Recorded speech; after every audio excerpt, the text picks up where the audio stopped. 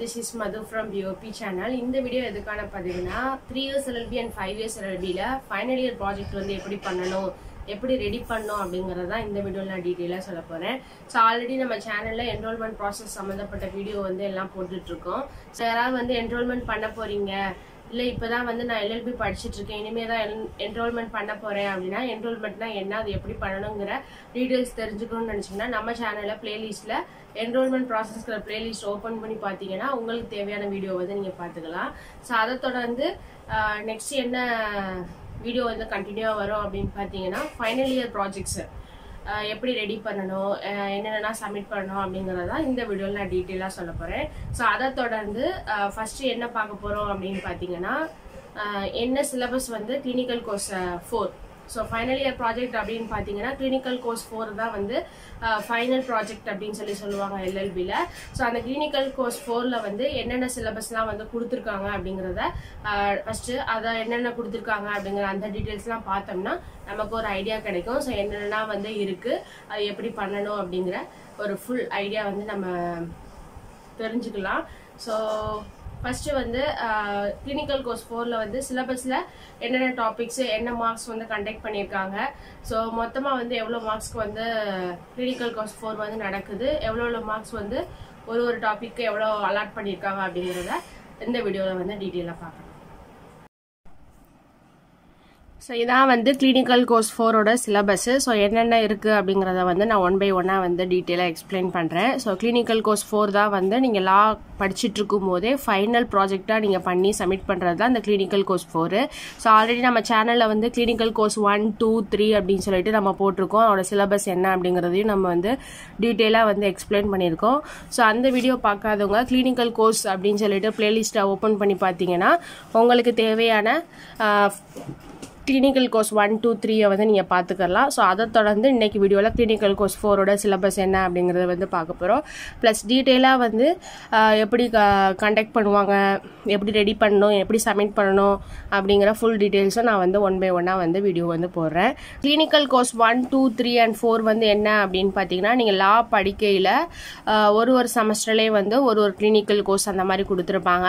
அது வந்து மொத்தம் நீங்கள் படிக்க படித்து முடிக்கையில் மொத்தம் வந்து நாலு கிளினிக்கல் கோர்ஸ் வந்து படிப்பீங்க. ஸோ அதில் வந்து என்ன பண்ணுவாங்கன்னா நீங்கள் எப்படி வந்து க்ளோ கோர்ட்டில் போயிட்டு எப்படி ப்ராக்டிஸ் பண்ணணும்? ஸோ கோர்ட்டில் வந்து ப்ராக்டிஸ் பண்ணையில் அங்கே என்னென்ன வந்து ப்ரொவிஷன்ஸ்லாம் ஃபாலோ பண்ணுறாங்க அப்படிங்கிற டீட்டெயில் தான் வந்து இந்த கிளினிக்கல் கோர்ஸ் ஃபோரில் வந்து நீங்கள் தெரிஞ்சுப்பீங்க.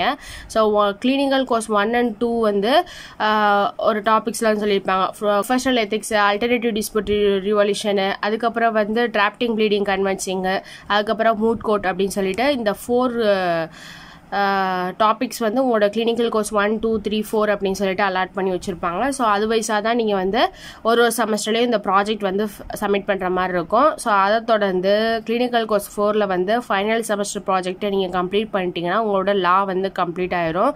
ஸோ என்ன சொல்லியிருக்காங்கன்னா ஃபைவ் இயர்ஸ் எல்எல்பிக்கு வந்து சப்ஜெக்ட் கோட் வந்து எஃப்ஏ எக்ஸ்டி அப்படின்னு சொல்லியிருக்காங்க. ஸோ ஃபிஃப்த் இயரில் டென்த்து செமஸ்டரில் வந்து வரும் அப்படிங்கிற மாதிரி சொல்லியிருக்காங்க. தேர்டு த்ரீ இயர்ஸ் எல்எல்பியில் சப்ஜெக்ட் கோடு வந்து டிஏ சிக்ஸ் டி அதோட இயர் வந்து தேர்ட் இயரில் சிக்ஸ்த்து செமஸ்டரில் வரும் அப்படிங்கிறத வந்து மென்ஷன் பண்ணியிருக்கான் ஸோ நீங்கள் ஃபைவ் இயர்ஸ் எல்எல்பி படிக்கிறீங்கன்னா இந்த சப்ஜெக்ட் கோடு இந்த இயரில் இந்த செமஸ்டரில் வரும் அப்படிங்கிறத தெரிஞ்சுக்கோங்க. நீங்கள் த்ரீ இயர்ஸ் எல்எல்பி படிக்கிறீங்க அப்படின்னா இந்த சப்ஜெக்ட் கோடில் இந்த இயரில் இந்த செமஸ்டரில் வரும் அப்படிங்கிற வந்து மென்ஷன் பண்ணிங்க. இந்த கிளினிக்கல் கோர்ஸ் ஃபோர் வந்து ஃபைவ் இயர்ஸ் ஃபைவ் இயர்ஸ் எல்பிக்கும் த்ரீ இயர்ஸ் எல்பிக்கும் லாஸ்ட் செமஸ்டரில் தான் வந்து கண்டக்ட் பண்ணுவாங்க. ஸோ இதில் கிளினிக்கல் கோர்ஸ் ஃபோரில் வந்து என்ன டாபிக் கொடுத்துருக்காங்க அப்படின்னு பார்த்தீங்கன்னா moot court exercise and internship அப்படின்னு சொல்லிட்டு மென்ஷன் பண்ணியிருக்காங்க ஸோ நீங்கள் மூட் கோட்டை தான் வந்து நீங்கள் கிளினிக்கல் கோர்ஸ் ஃபோரில் ஃபைனல் செமஸ்டர் ப்ராஜெக்டாக நீங்கள் வந்து சப்மிட் பண்ணுவீங்க. இந்த மூட் கோட் அப்படிங்கிறது என்ன அப்படின்னு பார்த்தீங்கன்னா மாதிரி நீதிமன்றம். இது நீங்கள் கோர்ட்டில் போயிட்டு ப்ராக்டிஸ் பண்ணுவீங்கள்ல ஸோ ப்ராக்டிஸ் பண்ணையில் அங்கே வந்து நீங்கள் ஜட்ஜ் முன்னாடி அப்பியரன்ஸ் ஆகி நீங்கள் வந்து கேஸ் எடுத்து வாதாடுற அந்த மாதிரி எக்ஸசைஸாக வந்து ஒரு மூட் கோட் எக்ஸசைஸாக வந்து நீங்கள் ஃபைனல் செமஸ்டர் ப்ராஜெக்டில் வந்து பண்ணுவீங்க. ஸோ மாதிரி நீதிமன்றமாக அங்கே கோர்ட்டில் போயிட்டு ஜட்ஜ் முன்னாடி எப்படி பேசணும் அப்படிங்கிற ஒரு ட்ரையல் கோர்ட் மாதிரி வந்து இங்கே நீங்கள் மூட் கோர்ட்டில் வந்து இந்த ப்ராஜெக்ட் வந்து பண்ணுவீங்க. ஸோ அது எப்படி நடக்கும் அப்படிங்கிற டீட்டெயில்ஸை வந்து நான் ஒன் பை ஒன்னாக வந்து உங்களுக்கு சொல்கிறேன் ஸோ இந்த moot court exercise and internship தான் வந்து நீங்கள் கிளினிக்கல் கோர்ஸ் ஃபோரில் வந்து பண்ணுவீங்க. இந்த இன்டர்ன்ஷிப் அப்படிங்கிறது வந்து நீங்கள் த்ரீ இயர்ஸ் எல்பியில் சிக்ஸ் செமஸ்டரில் ஃபைவ் இயர்ஸ் எல்பியில் டென் செமஸ்டரில் நீங்கள் வந்து ஒரு இன்டர்ன்ஷிப் மாதிரி வந்து போகணும். ஒரு அட்வொகேட்டை வந்து இன்டர்ன்ஷிப்பாக நீங்கள் வந்து போயிட்டு அவங்க என்னென்ன டாக்குமெண்ட்ஸ்லாம் ரெடி பண்ணுறாங்க அவங்க எப்படி கிளைண்ட்டை வந்து விசிட் பண்ணுறாங்க அப்படிங்கிற எல்லா டீட்டெயில்ஸையும் வந்து நீங்கள் இன்டர்ன்ஷிப் போய் வந்து நிறையா விஷயங்கள் கற்றுக்கணும் ஸோ அதுக்காண்டி தான் வந்து இந்த moot court exercise and internship அப்படின்னு சொல்லி கொடுத்துருக்காங்க. ஸோ அது என்னென்னங்கிறத வந்து ஒன் பை ஒன்னாக பார்க்கலாம். ஸோ அந்த மூட் கோட்டு ப்ளஸ் இன்டர்ன்ஷிப் ரெண்டும் சேர்த்து தான் வந்து உங்களுக்கு வந்து ஹண்ட்ரட் மார்க்ஸ்க்கு வந்து அலாட் பண்ணுறாங்க ஸோ அதில் ஃபஸ்ட்டு என்னென்ன கொடுத்துருக்காங்க என்னென்ன டாபிக்ஸ்லாம் வந்து என்னென்ன மார்க்ஸ்லாம் கண்டக்ட் பண்ணுறாங்க ஒரு ஒரு டாப்பிக்கும் எவ்வளோ மார்க்ஸ் அலாட் பண்ணுறாங்க அப்படிங்கிறத வந்து பார்க்கலாம். ஃபஸ்ட்டு வந்து மூட் கோட்க்கு வந்து தேர்ட்டி மார்க்ஸ் வந்து அலாட் பண்ணுறாங்க மூட் கோட் அப்படின்னா மாதிரி நீதிமன்றம் மாதிரி ஒரு செட்டப்பில் வச்சு நீங்கள் என்ன ப்ராஜெக்ட் வந்து உங்களுக்கு என்ன ப்ராப்ளம் கொடுத்து அதை வந்து மெமோ ரெடி பண்ணிட்டு வர சொல்கிறாங்களோ ஸோ அந்த மெமோ வச்சு நீங்கள் வந்து மூட் கோட் மாதிரி ஜட்ஜ்க்கு முன்னாடி வந்து நீங்கள் வந்து பேசுகிற மாதிரி இருக்கும். ஸோ உங்களோட பாயிண்ட்ஸ் எல்லாம் நீங்கள் பேசணும். மாதிரி நீதிமன்றம் நீங்கள் வந்து கோர்ட்டில் எப்படி வந்து செட்டப் இருக்கோ ஸோ அது மாதிரி உங்களோட காலேஜஸை செட்டப் பண்ணி உங்களை வந்து பேச சொல்லுவாங்க. ஸோ இது வந்து மூட் கோட்க்கு வந்து தேர்ட்டி மார்க்ஸு அதுக்கப்புறம் கோர்ட் விசிட் ரிப்போர்ட் அப்படின்னு சொல்லிட்டு அதுக்கு தேர்ட்டி மார்க்ஸ் வந்து அலாட் பண்ணுறாங்க கோர்ட் விசிட் ரிப்போர்ட் அப்படிங்கிறது என்ன அப்படின்னு பார்த்தீங்கன்னா நீங்கள் வந்து ஃபைனல் செமஸ்டர் ப்ராஜெக்ட்ஸில் வந்து உங்களுக்கு கிளினிக்கல் இப்போ six sixth semester and tenth செமஸ்டர்னா so அந்த செமஸ்டரில் வந்து கோர்ட் விசிட் ரிப்போர்ட் அப்படின்னு சொல்லிட்டு உங்களுக்கு வந்து அலாட் பண்ணியிருப்பாங்க. ஸோ இந்தந்த டேட்டில் வந்து இந்தந்த கோர்ட்டை போய் நீங்கள் விசிட் பண்ணணும் அப்படிங்கிற மாதிரி. நீங்கள் எந்த டிஸ்ட்ரிக்டில் படிக்கிறீங்களோ லா காலேஜ் எந்த டிஸ்ட்ரிக்டில் படிக்கிறீங்களோ அங்கே உள்ள டிஸ்ட்ரிக்ட் கோர்ட்டு கூட்டு போயிட்டு ஒரு ஒரு கோர்ட் இருக்கும்ல இப்போ சிவில் கோர்ட்டு கிரிமினல் கோர்ட் இருக்கும்ல ஸோ அது மாதிரி CJM JM district court sub court munsif court இதெல்லாம் இருக்கும்ல. ஸோ அதில் அது மாதிரி உங்களுக்கு வந்து கோர்ட் விசிட் அப்படின்னு சொல்லிட்டு ஒரு ஒரு நாளும் ஒரு ஒரு கோர்ட்டை விசிட் பண்ணும் அப்படின்னு சொல்லிட்டு போட்டிருப்பாங்க. ஸோ இது வந்து உங்களோட ரிஜிஸ்டர் நம்பர் வைஸாக வந்து ஸ்ப்ளிட் பண்ணி விட்ருவாங்க பத்து பேர் வந்து இன்னைக்கு இந்த கோர்ட்டை ஜேஎம்ஐ விசிட் பண்ணணும். நெக்ஸ்ட் பத்து பேர் வந்து சிஜேஎம் வந்து விசிட் பண்ணணும் அப்படின்னு சொல்லிட்டு ஒரு ஒரு ஒரு நாள் வந்து உங்களுக்கு கோர்ட் விசிட் வந்து உங்களோட ஸ்டாஃப் யார் வந்து உங்களுக்கு கிளினிக்கல் கோர்ஸ் ஃபோர் வந்து எடுக்கிறாங்களோ அவங்க அந்த ஸ்டாஃப் வந்து இப்படி அலாட் பண்ணி உங்களுக்கு வந்து ஸ்ப்ளிட் பண்ணி போட்டுருவாங்க. ஸோ கோர்ட் விசிட் அப்போ நீங்கள் கோர்ட்டுக்கு போயிட்டு உங்களோட அட்டனன்ஸை நீங்கள் போட்டதுக்கப்புறம் கோர்ட்டில் என்னென்ன நடக்குது? ஸோ என்னென்ன கேஸ் நடக்குது? என்ன ஹியரிங் வந்து எந்த கேஸை கூப்பிட்றாங்க அப்படிங்கிற ஒரு ஒரு விஷயத்தையும் நீங்கள் வந்து ரிப்போர்ட்டாக எழுதி சப்மிட் பண்ணணும். ஸோ அதுக்கு வந்து தேர்ட்டி மார்க்ஸ் வந்து கண்டக்ட் பண்ணுறாங்க இந்த கோர்ட் விசிட் அப்படிங்கிறது வந்து ஜஸ்ட் நீங்கள் கோர்ட்டில் போயிட்டு விசிட் பண்ணிவிட்டு சுற்றி பார்த்துட்டு வர்றது கிடையாது. அங்கே என்னென்ன நடக்குது அப்படிங்கிற விஷயத்தெல்லாம் நீங்கள் வந்து ஒரு ரிப்போர்ட்டாக நீங்கள் நோட் பண்ணி வந்துட்டு அதுக்கப்புறம் அதுக்கு ஒரு ஃபார்மலான ஒரு நோட் போட்டு நீங்கள் வந்து என்னென்ன பார்த்தீங்க என்னென்ன கேஸ் நடந்துச்சு அப்படிங்கிற ஒரு ரிப்போர்ட் மாதிரி ரெடி பண்ணி அவங்கள்ட்ட சப்மிட் பண்ணுறது தான் கோர்ட் விசிட் ரிப்போர்ட் அப்படின்னு சொல்லுவாங்க. இது வந்து தேர்ட்டி மார்க்ஸ்க்கு இதுக்கு அட்டண்டன்ஸும் உண்டு. நீங்கள் டெய்லியும் கோர்ட் விசிட் போகிறீங்களாங்கிற அதெல்லாம் பார்த்து அட்டண்டன்ஸுக்கும் சேர்த்து எல்லாமே வந்து தேர்ட்டி மார்க்ஸ்க்குள்ளே வந்து அவங்க இன்க்ளூட் பண்ணிடுவாங்க. நெக்ஸ்ட் வந்து உங்களோட இன்டர்ன்ஷிப் டைரி இது வந்து சாம்பர் விசிட் ரிப்போர்ட் அப்படின்னு சொல்லி சொல்லுவாங்க. இன்டர்ன்ஷிப் அப்படிங்கிறது வந்து இன்டர்ன்ஷிப் டைரின்னு சொல்லலாம் இல்லைனா சாம்பர் விசிட் ரிப்போர்ட் அப்படின்னு சொல்லலாம். இன்டர்ன்ஷிப் அப்படிங்கிறது வந்து நீங்கள் உங்களோட ஃபர்ஸ்ட் செமஸ்டர்லேருந்து டென்த்து செமஸ்டர் இல்லை ஃபர்ஸ்ட் செமஸ்டர்லேருந்து சிக்ஸ்த்து செமஸ்டருக்குள்ளே நீங்கள் அந்த அட்வொகேட்டையாவது நீங்கள் வந்து இன்டர்ன்ஷிப் வந்து போகணும். இல்லை அப்படி வந்து சில பேர் வந்து ஆல்ரெடி படிச்சுட்ருக்கையிலே சில அட்வொகேட்ஸில் வந்து ப்ராக்டிஸ் போவாங்க. சில பேர் என்ன பண்ணுவாங்க அப்படின்னா நீங்கள் ஃபைனல் செமஸ்டர் ப்ராஜெக்ட் அப்போ கண்டிப்பாக வந்து எல்லாருமே இன்டர்ன்ஷிப் போயே ஆகணும் அப்படின்னு சொல்லிட்டு உங்கள் ஸ்டாஃப் சொல்லிடுவாங்க ஸோ அந்த டயத்தில் வந்து நீங்கள் ஒரு அட்வொகேட்டை வந்து பார்த்து அவங்கள்ட்ட வந்து நீங்கள் இன்டர்ன்ஷிப் போகிற மாதிரி இருக்கும். ஜஸ்ட் ஸோ உங்களோட ஃபைனல் செமஸ்டருக்கு மட்டுமே நீங்கள் இன்டர்ன்ஷிப் போனீங்கனாலே இந்த ரிப்போர்ட்டை வந்து ரெடி பண்ணிடலாம். சில பேர் லா ஃபஸ்ட்டு செமஸ்டர்லேயே வந்து அவங்களுக்கான அட்வொகேட்டை வந்து நீங்கள் அவங்க சூஸ் பண்ணிவிட்டு அவங்க வந்து போக ஸ்டார்ட் பண்ணியிருப்பாங்க ஸோ இதில் வந்து இன்டர்ன்ஷிப் போகிற அட்வொகேட் வந்து அபோவ் டென் இயர்ஸ் எக்ஸ்பீரியன்ஸ் ஆன அட்வொகேட்டை தான் நீங்கள் வந்து இன்டர்ன்ஷிப் போகிற மாதிரி இருக்கும். ஸோ அவங்கள்ட்ட போயிட்டு அவங்க என்னென்ன வந்து டாக்குமெண்ட்ஸ்லாம் ரெடி பண்ணுறாங்க எந்த மாதிரி கேஸை வந்து கிளைண்ட்டை எப்படி வந்து அவங்க ட்ரீட் பண்ணுறாங்க எப்படி வந்து கிளைண்ட்டை வந்து கொஷின்ஸ் கேட்குறாங்க அப்படிங்கிற கேஸ்லாம் ஃபைல் பண்ணுறாங்க அப்படிங்கிற அவங்க கூடயே இருந்து அவங்க கூட ஒரு இன்டர்ன்ஷிப் மாதிரி அவங்களோட சாம்பருக்கு போயிட்டு சாம்பரில் என்னென்ன விஷயங்கள்லாம் அவங்க ரெடி பண்ணுறாங்க அப்படிங்கிற ஒரு விசிட் மாதிரி ஒரு ரிப்போர்ட் வந்து ரெடி பண்ணி நீங்கள் வந்து சப்மிட் பண்ணணும். அதுக்கு வந்து தேர்ட்டி மார்க்ஸ் வந்து கண்டக்ட் பண்ணுறாங்க ஸோ நெக்ஸ்ட்டு வந்து வைவா வாய்ஸ் வைவா வாய்ஸ் அப்படிங்கிறது வந்து இந்த மூணு விஷயங்கள் இருக்குல்ல. Moot court court visit report internship diary chamber visit report வந்து இந்த மூணுக்கும் சேர்த்து வைவா வாய்ஸ் வந்து ஒரு நாள் கான்டாக்ட் பண்ணுவாங்க. உங்களுக்கு எந்த ஸ்டாஃப் வந்து கிளினிக்கல் கோர்ஸ் ஃபோர் வந்து எந்த ஸ்டாஃப் வந்து உங்களுக்கு எடுக்கிறாங்களோ அந்த ஸ்டாஃப் வந்து உங்களுக்கு வைவா வாய்ஸ் வந்து எடுப்பாங்க. ஸோ இதுக்கு மூணுக்கும் சேர்த்து தான் வந்து வைவா வாய்ஸ் எடுப்பாங்க. நீங்கள் மூணு கோட்டில் வந்து உங்களோட ப்ராப்ளமில் என்னென்ன ரெடி பண்ணியிருக்கீங்களோ அதை வச்சு கொஷின்ஸ் கேட்பாங்க. கோர்ட் விசிட் ரிப்போர்ட்டில் என்னென்ன எழுதியிருக்கீங்களோ அதை பார்த்துட்டு உங்களுக்கு வந்து கொஷின் கேட்பாங்க. இன்டர்ன்ஷிப் டைரியில் வந்து என்ன எழுதியிருக்கீங்க? உங்கள் அட்வொகேட் என்ன வந்து சொல்லி கொடுத்தாங்க? அந்த மாதிரி டீட்டெயில்ஸ் வந்து எல்லாமே வந்து உங்களுக்கு வைவா வாய்ஸ் இதுக்கு மூணுக்கும் சேர்த்து கேட்பாங்க. ஸோ அதோட மார்க் வந்து டென் மார்க்ஸ் வந்து கண்டக்ட் பண்ணுறாங்க இப்படி ஒன் பை ஒன்னாக வந்து ஸ்ப்ளிட் பண்ணி தான் உங்களுக்கு வந்து மார்க்ஸ் வந்து அவங்க கண்டக்ட் பண்ணுவாங்க. ஸோ இது நாளையும் சேர்த்து தான் வந்து உங்களுக்கு வந்து ஹண்ட்ரட் மார்க்ஸ்க்கு வந்து அலாட் பண்ணுறாங்க ஸோ அதனால் மூட் கோட் ப்ளஸ் இன்டர்ன்ஷிப் ரெண்டும் சேர்த்து தான் வந்து உங்களுக்கு ஹண்ட்ரட் மார்க்ஸ்க்கு அலாட் பண்ணுறாங்க அதில் வந்து இந்த மாதிரி டாபிக்ஸாக இந்த மாதிரி டிவிஷனாக வந்து டிவைட் பண்ணிவிட்டு ஒரு ஒரு டாப்பிக்கும் ஒரு ஒரு ரிப்போர்ட் அண்ட் டைரிக்கும் வந்து மார்க்ஸ் கண்டக்ட் பண்ணி ஹண்ட்ரட் மார்க்ஸ்க்கு வந்து அலாட் பண்ணுறாங்க ஸோ இப்படி தான் வந்து உங்களோட clinical course four final semester project வந்து சிலபஸில் கொடுக்கப்பட்ட மார்க்ஸ் டீட்டெயில்ஸ் வந்து இப்படி தான் வந்து கொடுத்துருக்காங்க. ஸோ இதுக்கப்புறம் வந்து நம்ம ஒன் பை ஒன்னாக வந்து மூட் கோட்டு என்ன பண்ணணும்? கோர்ட் விசிட் ரிப்போர்ட் வந்து எப்படி ரெடி பண்ணணும்? இன்டர்ன்ஷிப் டைரியில் என்னென்ன நான் எழுதுனேன்? ஸோ எப்படிலாம் வந்து எழுதலாம் அப்படிங்கிற ஒரு ஓவர்வியூ வீடியோவாக நான் நெக்ஸ்ட் நெக்ஸ்ட்டு வந்து நான் சொல்கிறேன்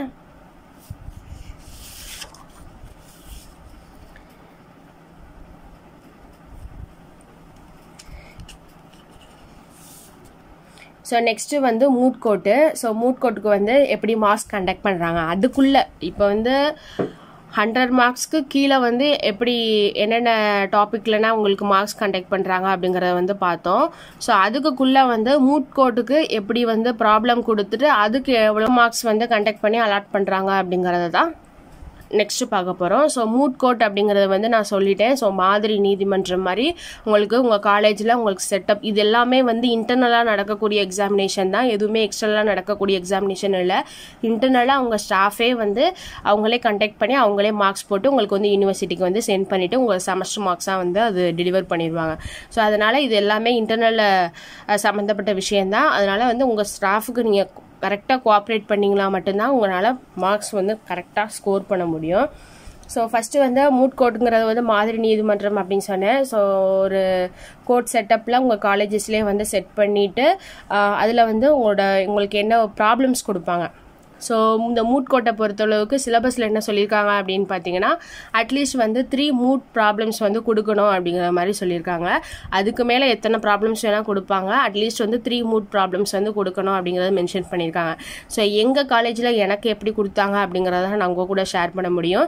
ஏன்னா எல்லா காலேஜஸ்லையும் எப்படி கொடுப்பாங்க அப்படிங்கிறது வந்து தெரியாது. சில காலேஜில் ஒரு மூட் ப்ராப்ளம் கொடுத்து அதை ரெடி பண்ணிட்டு வந்து சப்மிட் பண்ண சொல்லலாம். சில பேருக்கு மூணுக்கு மேலே வந்து கொடுத்து சப்மிட் பண்ணல சொல்லலாம். அதனால் உங்கள் காலேஜஸை பொறுத்து அது டிஃபர் ஆகும். ஸோ உங்கள் காலேஜஸில் எப்படிங்கிறத நீங்கள் விசாரிச்சுக்கோங்க. ஸோ எனக்கு வந்து எப்படி கொடுத்தாங்க அப்படிங்கிற மூட் ப்ராப்ளம்ஸு ஸோ எப்படி கொடுத்தாங்க அப்படிங்கிறத மட்டும் நான் ஷேர் பண்ணுறேன் அதை வச்சு ஒரு ஐடியா கிடச்சிச்சு அப்படின்னா உங்கள் காலேஜில் சொல்கிறபடி நீங்கள் வந்து நடந்துக்கோங்க. ஸோ அட்லீஸ்ட் வந்து த்ரீ மூட் ப்ராப்ளம்ஸ் வந்து கொடுக்கணும் அப்படிங்கிறத வந்து சிலபஸில் மென்ஷன் பண்ணியிருந்தாங்க. ஸோ அதில் வந்து கான்ஸ்டியூஷனால் ஒரு ப்ராப்ளமும் சிவில்லால் ஒரு ப்ராப்ளம் கிரிமினல் லாவில் ஒரு ப்ராப்ளம் மொத்தம் வந்து ஒரு ஒரு லாலையும் வந்து ஒரு ஒரு ப்ராப்ளம் வந்து கொடுக்கணும். ஒரு ஒரு லாக்கும் வந்து டென் மார்க்ஸ் வந்து அலாட் பண்ணுறாங்க கான்ஸ்டியூஷன் லாக்கு ஒரு ப்ராப்ளம்க்கு டென் மார்க்ஸு கிரிமினல் லாக்கு ஒரு ப்ராப்ளம்க்கு டென் மார்க்ஸ் கிரில் சிவிலால் உள்ள ஒரு ப்ராப்ளம்ஸ்க்கு டென் மார்க்ஸ் அப்படின்னு சொல்லிட்டு மொத்தம் தேர்ட்டி மார்க்ஸ்க்கு வந்து இதுக்கே அலாட் பண்ணுறாங்க இந்த தேர்ட்டி மார்க்ஸில் வந்து ரெண்டாக ஸ்ப்ளிட் பண்ணுறாங்க எப்படி அப்படின்னா இப்போ கான்ஸ்டியூஷன் லாவில் வந்து நீங்கள் வந்து ரிட்டன் சமிஷனும் பண்ணுவீங்க ஓரல் அட்வொகேசியும் வந்து பண்ணுவீங்க. ரிட்டர்ன் சமிஷன் அப்படிங்கிறது வந்து உங்களுக்கு கான்ஸ்டியூஷன் லாவில் ஒரு ப்ராப்ளம் வந்து கொடுக்குறாங்க அப்படின்னா அந்த ப்ராப்ளம்க்கு uh, நீங்கள் வந்து uh, மூட்டு மெமோ அப்படின்னு சொல்லிட்டு சொல்லுவாங்க. மெமோரெண்டம் அப்படின்னு சொல்லுவாங்க. ஸோ அந்த மெமோரெண்டம் வந்து ரெடி பண்ணணும். மெமோரெண்டம் ரெடி பண்ணுறதுக்கு ஃபைவ் மார்க்ஸு அதை வந்து நீங்கள் எல்லாருக்கும் முன்னாடி வந்து மாதிரி நீதிமன்றத்தில் வந்து எக்ஸ்பிளைன் பண்ணுவீங்கல்ல? உங்களோட ப்ராப்ளத்தில் என்னென்ன இருக்குது அப்படிங்கிறத எக்ஸ்பிளைன் பண்ணுறதுக்கு அந்த ஓரல் அட்வொகேசிக்கு வந்து ஃபைவ் மார்க்ஸ் அப்படின்னு சொல்லிட்டு ரெண்டாக ஸ்ப்ளிட் பண்ணி தான் டென் மார்க்ஸ் வந்து கொடுக்குறாங்க. அதனால் கிரிமினல் லாக்கும் அதே மாதிரி தான் ரிட்டர்ன் சமிஷனுக்கு ஃபைவ் மார்க்ஸு ஓரல் அட்வொகேசிக்கு ஃபைவ் மார்க்ஸ் சிவிலால் ரிட்டர்ன் சமிஷனுக்கு ஃபைவ் மார்க்ஸு ஓரல் அட்வொகேசிக்கு ஃபைவ் மார்க்ஸ் ஸோ இப்படி தான் வந்து கொடுப்பாங்க. மொத்தம் வந்து தேர்ட்டி மார்க்ஸ்க்கு வந்து கண்டக்ட் பண்ணுறாங்க ஸோ இப்படி தான் வந்து மூட் கோர்ட் வந்து கண்டக்ட் பண்ணுவாங்க. ஸோ எனக்கு வந்து constitution law and criminal law and civil லாவில் வந்து என்ன ப்ராப்ளம் கொடுத்தாங்க அப்படிங்கிறத வந்து நான் உங்கள்கிட்ட காமிக்கிறேன்.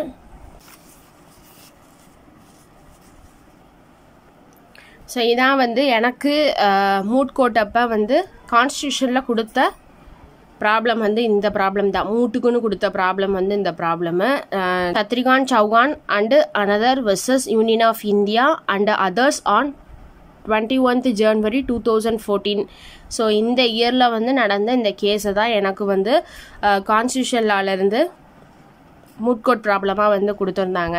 ஸோ இதில் வந்து ஏஎன்ஆர் அப்படின்னு கொடுத்துருந்தாங்கன்னா அனதர் அப்படின்னு சொல்லிட்டு நம்ம எடுத்துக்கணும். லால வந்து சில விஷயங்கள்லாம் ஷார்ட் ஃபார்மில் இருக்கும். ஷார்ட் ஃபார்மில் இருக்கிறது எல்லாமே நம்ம தான் என்னங்கிறத நம்ம தெரிஞ்சு வச்சுக்கணும்.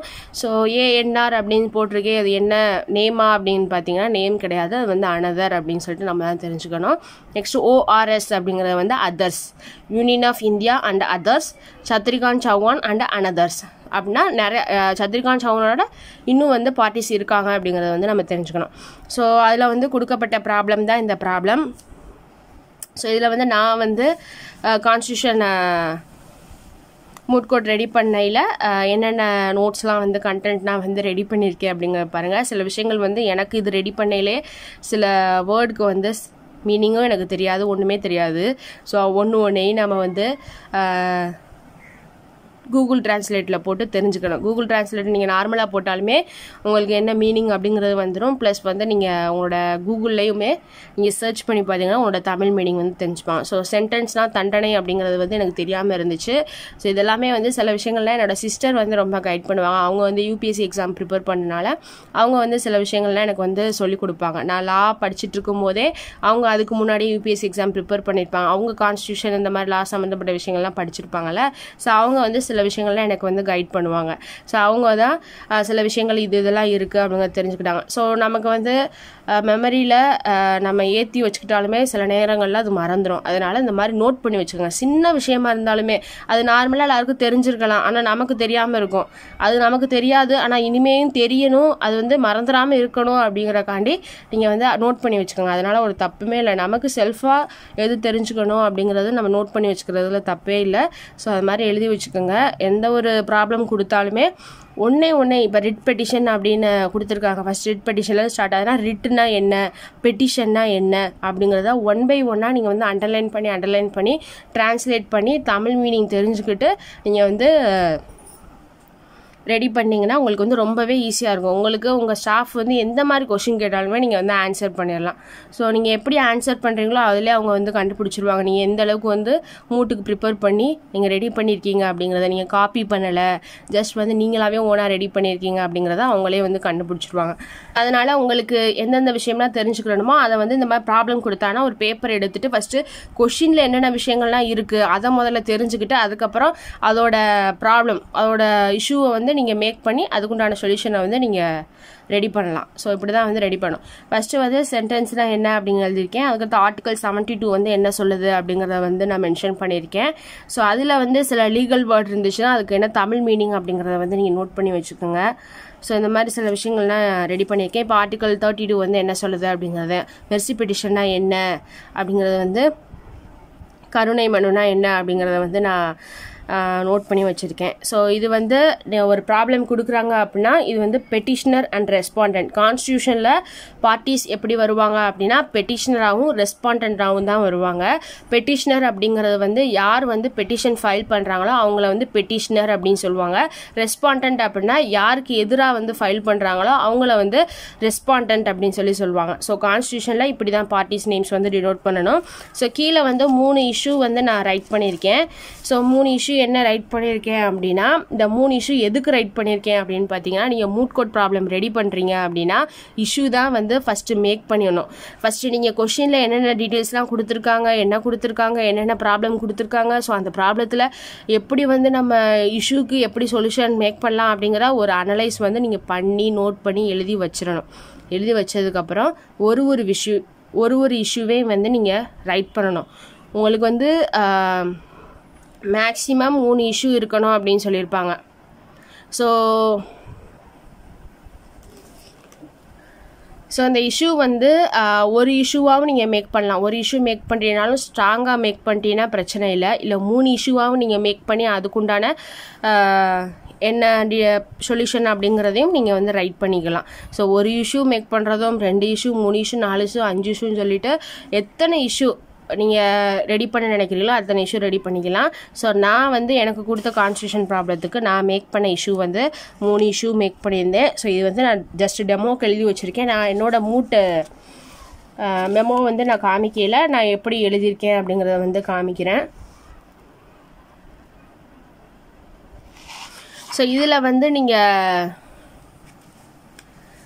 இஷ்யூ மேக் பண்ணையில் என்ன பண்ணணும் அப்படின்னா question of law question of fact அப்படிங்கிறத வச்சு தான் நீங்கள் வந்து இஷ்யூ வந்து மேக் பண்ணணும். கொஷின் ஆஃப் லா அப்படின்னா லா சம்மந்தப்பட்ட கொஷினை நீங்கள் மேக் பண்ணீங்கன்னா கொஷின் ஆஃப் லா அதுவே வந்து நீங்கள் ஃபேக்ட்டை வச்சு அவங்க கொடுத்துருக்குற ஃபேக்ட் மூலியமா நீங்கள் ரெடி பண்ணீங்க அப்படின்னா கொஷின் ஆஃப் ஃபேக்ட் உங்களோட இஷ்யூ வந்து இந்த ரெண்டு சம்மந்தப்பட்ட இஷ்யூவாக மட்டும்தான் இருக்கணும். அதை தாண்டி நீங்கள் சம்மந்தமே இல்லாத இஷ்யூனா நீங்கள் போட்டிங்க அப்படின்னா அவங்களோட அக்செப்ட் பண்ணிக்க மாட்டாங்க. அதனால் வந்து கரெக்டாக கொஷின் ஆஃப் லானா என்ன கொஷின் ஆஃப் ஃபேக்ட்னா என்னங்கிறது தெரிஞ்சுக்கிட்டு அதுக்கு சம்மந்தப்பட்ட இஷ்யூவை வந்து நீங்கள் ரெடி பண்ணணும். ஸோ இப்படிலாம் ரெடி பண்ணுறது தான்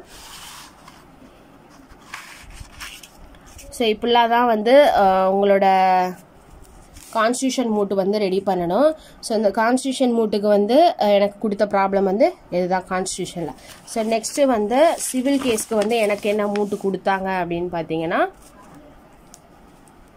ஸோ இந்த இஷ்யூ தான் வந்து எனக்கு சிவில் கேஸ்க்கு கொடுக்கப்பட்ட மூட் மூட் ப்ராப்ளம் ஸோ இதில் என்ன கொடுத்துருக்காங்கன்னா இங்கிலீஷில் கொடுத்துருக்காங்க. அதில் வந்து நான் தமிழில் டிரான்ஸ்லேட் பண்ணி மேலே எழுதியிருக்கேன். ஸோ இங்கிலீஷில் லீகல் வேர்டுக்கு சில வேர்டுக்கு நமக்கு தமிழ் மீனிங் தெரியாமல் இருக்கும். ஸோ அதுக்காண்டி நான் வந்து மேலே தமிழில் வந்து நான் டிரான்ஸ்லேட் பண்ணி வச்சுருக்கேன். ஸோ இதில் வந்து சிவில் கேஸில் என்ன பார்ட்டிஸ் வருவாங்க அப்படின்னு பார்த்தீங்கன்னா பிளெயின்டிஃப் டிபெண்ட் அப்படின்னு சொல்லிட்டு வருவாங்க. ஸோ வந்து ஃபஸ்ட்டு ஸ்டார்டிங்கில் கேஸ் போடுறாங்க அப்படின்னா அவங்க பிளெயின்டிஃப் டிபெண்டாக தான் இருப்பாங்க. அடுத்து போக போக தான் வந்து அவங்களோட பெட்டிஷனர் ரெஸ்பாண்டன்ட் அப்படின்னு சொல்லிட்டு மாறுவாங்க.